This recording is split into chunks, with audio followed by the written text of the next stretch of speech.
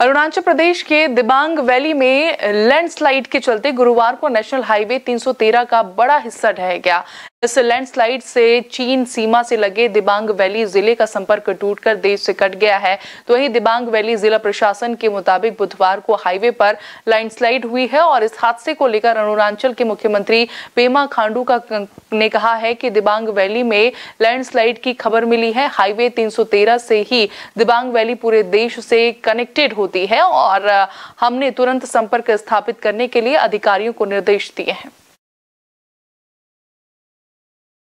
New videos की update पाने के लिए सब्सक्राइब करें इंडियन न्यूज़ को और बेल आइकन को दबाएँ।